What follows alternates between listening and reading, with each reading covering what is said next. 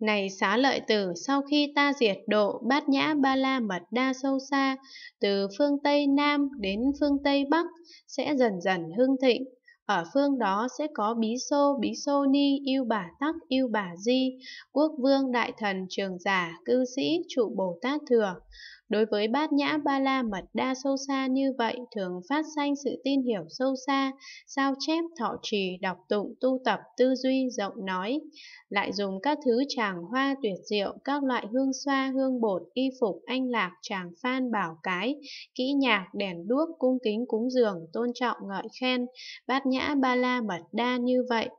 Vì do các thiện căn thủ thắng ấy, cuối cùng họ chẳng đọa vào các đường hiểm ác,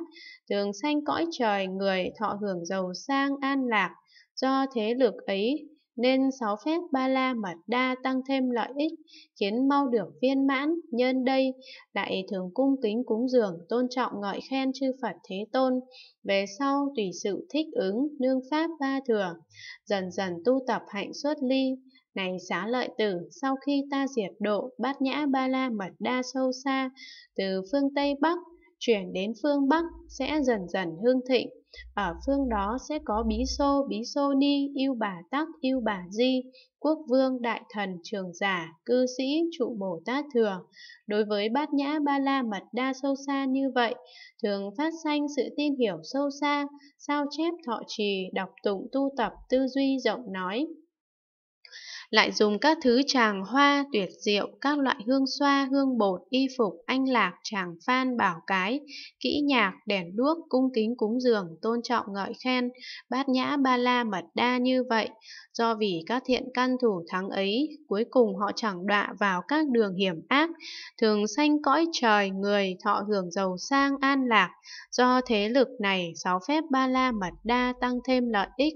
khiến mau được viên mãn, nhân đây lại thưởng cung kính cúng dường, tôn trọng ngợi khen chư Phật Thế Tôn. Về sau, tùy sự thích hợp nương pháp ba thừa, dần dần tu tập hạnh xuất ly.